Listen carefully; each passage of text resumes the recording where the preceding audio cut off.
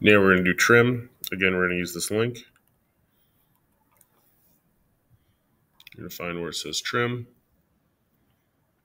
Download it. Click on it.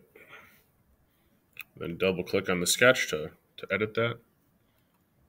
And trim is a really great feature. So press trim.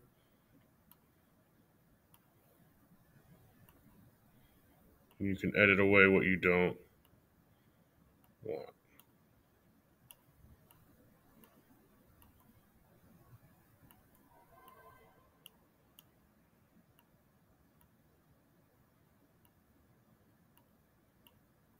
Let's see, didn't mean to do that.